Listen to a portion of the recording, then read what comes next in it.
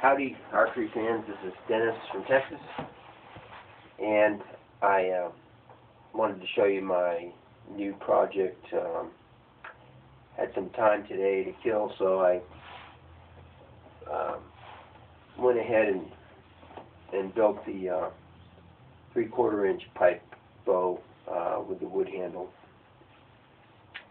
that I talked about um, wanting to do.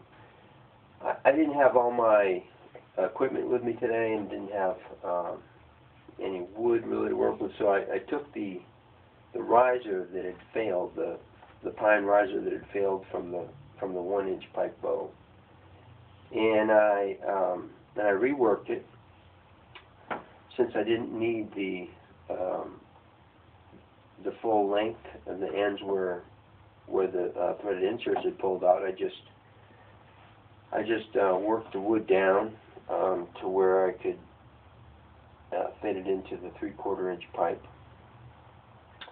And this just is just basically a, an experiment to see if this is going to work, and it, and it looks like it's going to. Um, I started out with a 23 inch uh, pipe, two pieces of 23 inch pipe.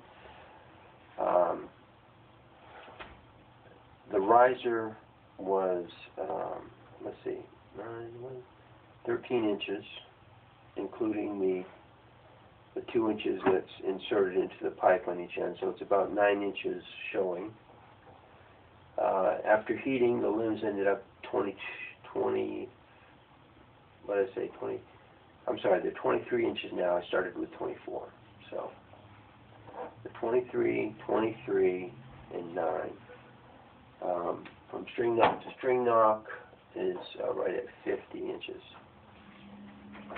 And I've got about a, a five and a half inch uh, brace height right here.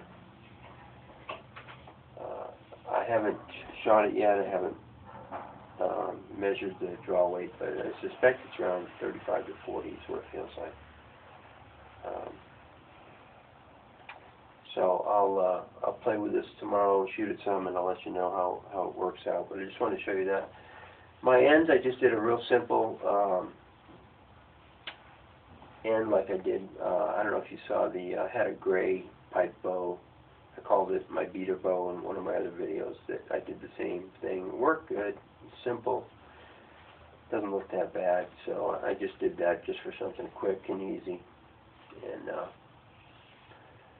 and like I said, I used the uh, the same riser that that I had before, and uh, so I'll uh, I'll give it a give it a try, shoot it some tomorrow, and let you know how it works out. Thanks.